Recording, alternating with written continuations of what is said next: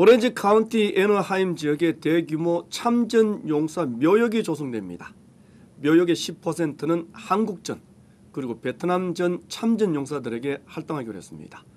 배우자도 안장될 수 있도록 조치했습니다. 오렌지 카운티 청사를 취재했습니다.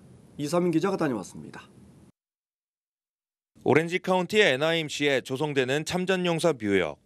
283 에이커나 되는 규모의 묘역입니다.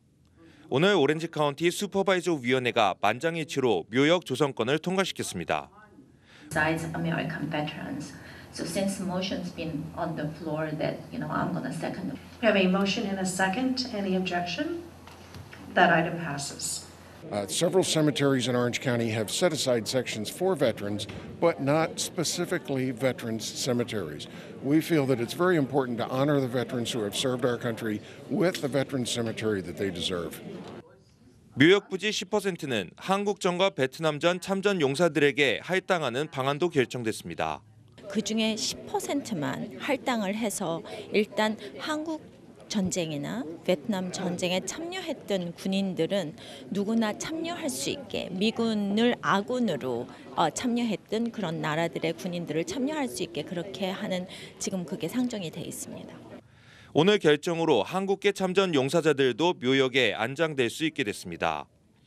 미군과 아군으로서 참여한 그분들이 사실은 돌아갈 곳이 없잖아요. 왜냐하면 어, 들어가도 한국으로 들어가신 들어가신다거나 또 베트남으로 간다거나 그런 식으로 묘지에 들어갈 수 있기 때문에 이번에 배우자까지도 안장될 수 있는 혜택을 받게 됐습니다. The sacrifices are made not just by the soldiers themselves, but also by the, their families, most importantly, their spouses.